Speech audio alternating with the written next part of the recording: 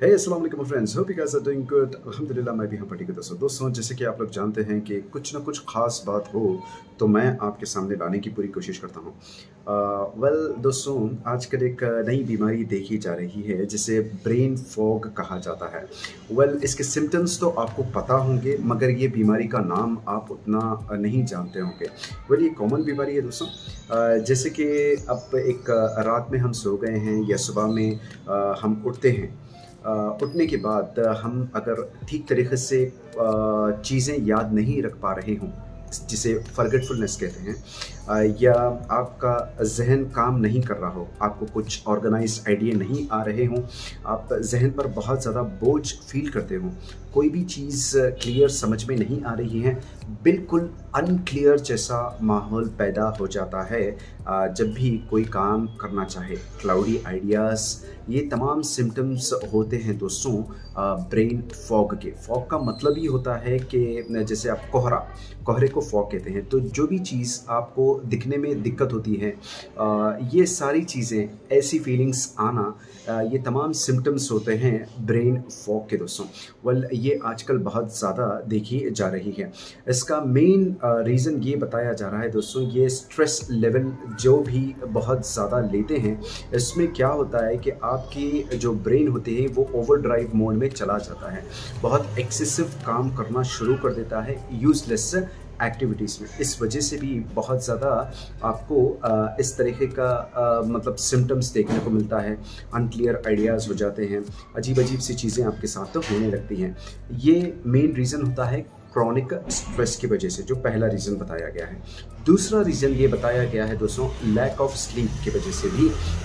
अगर आप सही तरीके से सोते नहीं हैं, या आप बहुत कम नींद लेते हैं, या आप मतलब जो छः से सात घंटे या आठ घंटे की नींद आपकी पूरी नहीं होती, जो एक नॉर्मल ह्यूमन बीइंग के लिए बहुत ज़्यादा ज़रूरी होती है, उस वक्त भी आपको इस कस्म की ये जो फजी थाट्स है ऐसे चीज़ें होना लाजमी है दोस्तों। ये भी एक चीज़ हो सकती है, एक रीज़न दोस्तों अगर आप डायबिटीज़ से जूझ रहे हैं लाइक आपका शुगर लेवल बहुत लो हो जाता है उस वक्त भी ये आपको प्रॉब्लम दे सकता है दोस्तों। यानी कि आपको आ, मतलब सही तरीके से रहने नहीं देगा कोई काम करने ही नहीं देगा आपकी क्वालिटी ऑफ़ लाइफ पूरी तरीके से बर्बाद कर सकता है अगर आपके शुगर लेवल्स भी आ, सही तरीके से ना हो।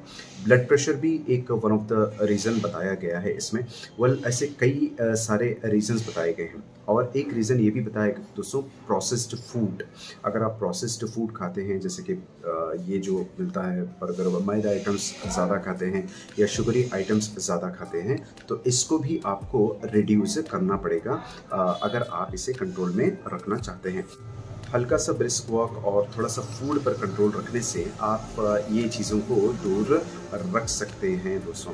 आप वॉकिंग भी एकदम ज़्यादा ना करें, बस टेन या फिफ्टीन मिनट्स मगर जो भी आप वॉक करते हैं, वो आपकी रेगुलरिटी होनी चाहिए। अपने आप को स्पोर्टिव माहौल में रहें और जैसे कि अगर आप यंग हैं, अगर ये यंग एज में आई है, आपको जैसे कि बोलने की बीमारी वगैरह ऐसा आई है, यानी कन्फ्यूज़ आप रहते हैं लैक ऑफ़ अटेंशन आपका होता है कॉन्सेंट्रेशन प्रॉब्लम से आप जूझते हैं तो ये तमाम चीज़ों को कम किया जा सकता है जैसे कि मैंने आपको बताया। सो so, दोस्तों अगर आप थोड़ा सा स्ट्रेस अपने बॉडी पर देते हैं इसका मतलब ये होता है कि एक्सरसाइज थोड़ी सी अगर आप करते हैं जो पेन आपको होता है उसकी वजह से आपके जिसम में कुछ केमिकल्स रिलीज़ होते हैं, जिसे एंडोरफिन कहते हैं दोस्तों, जो एक हैप्पी हार्मोन होता है, जिससे कि आप रिलैक्स और काम फील कर सकते हैं। और साइटोकाइंस भी होता है, जो एक प्रोटीन होता है, वो भी रिलीज़ होता है, जिससे कि सेम थिंग्स आप फील कर सकते हैं। यानी कि एकदम जिसम हल्का लगेगा और मस्त लगेगा। और मैं ये भी बता दूँ आपको, बहुत सारे स्टूडेंट्स अपने एग्ज़ाम्स के लिए प्रिपेयर होते हैं। अगर उनको शुगर क्रेविंग्स बहुत ज़्यादा होती है, किसी को भी शुगर क्रेविंग्स बहुत ज़्यादा होती है तो कोशिश करें कि आप कुछ जूस वगैरह लें। अगर जूस नहीं ले सकते तो एक एप्पल वगैरह ये सब खा लें। फ्रूट में ये होता है दोस्तों कि फ्रूट शुगर्स फिर भी बेहतर होती हैं when compare to artificial sugars अगर आप ये सब चीज़ें करेंगे तो इन इनशाला आपको ये ब्रेन फॉक नाम का कौन सा भी फॉक आपको पकड़ेगा नहीं और आप एक ब्यूटीफुल क्वालिटी लाइफ जी सकते हैं। स्ट्रेस लेवल तो हर किसी के लाइफ में होता है। इसे एक कम से कम करने की आपको कोशिश करनी चाहिए और एक स्पोर्टिव स्पिरिट हमेशा रखनी चाहिए। आपको यंग जैसा महसूस करना होगा। अगर आप नहीं महसूस कर रहे हैं तो यंगस्टर्स के साथ रहिए। अगर जवान है तो बच्चों के साथ, बूढ़े हैं तो यंगस्टर्स के साथ। ऐसा रहने से थोड़ा सा लाइफ में आसानी हो सकती है, दोस्तों। दोस्तों, अगर आपको हमारा कंटेंट पसंद आ जाए तो मेरे चैनल हैदराबाद रूटीन्स को सब्सक्राइब करना मत भूलिए। नीचे रेड बटन होगा, बस उसे प्रेस कर दीजिएगा, वो ग्रे में बदल जाएगा। अगर ग्रे में है तो फिर से उसे दोबारा प्रेस नहीं किया जाता।